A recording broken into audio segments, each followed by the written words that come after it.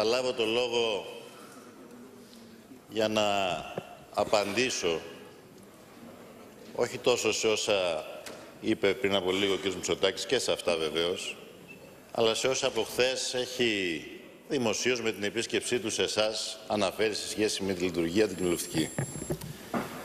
Βεβαίως δεν είμαι περισσότερα χρόνια από εσάς κύριε Μητσοτάκη σε αυτή τη Βουλή, όμως ζήσαμε μαζί από αυτά εδώ τα έδρανα την κοινοβουλευτική διαδικασία από το 2009 και μετά. Και έχουμε εμπειρία και γνωρίζουμε.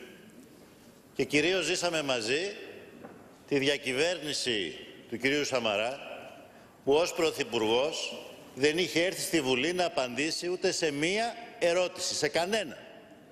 Σε κανέναν, όχι μόνο στον αρχηγό της αντιπολίτευσης.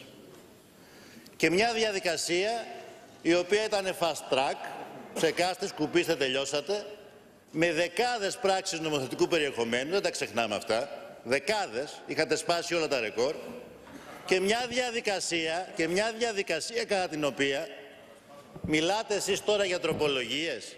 Ξεχνάει αυτό το σώμα και ο ελληνικός λαός τις τροπολογίες, τις νυχτερινές με τις οποίες δώναν τα ασυλία στους τραπεζίτες που αποφασίσαν τα θαλασσοδάνειά σας.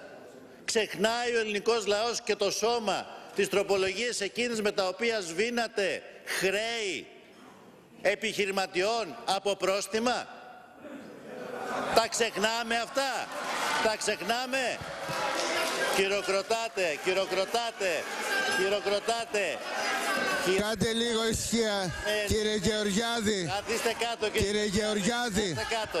Κύριε Γεωργιάδη. Μιλάει ο Πρωθυπου- Ο- Εδώ είναι Κύριε Βουλή. Γεωργιάδη. Δεν είναι στούντιο για τηλεπολίσεις. Κύριε Εδώ είναι Γεωργιάδη. Βουλή.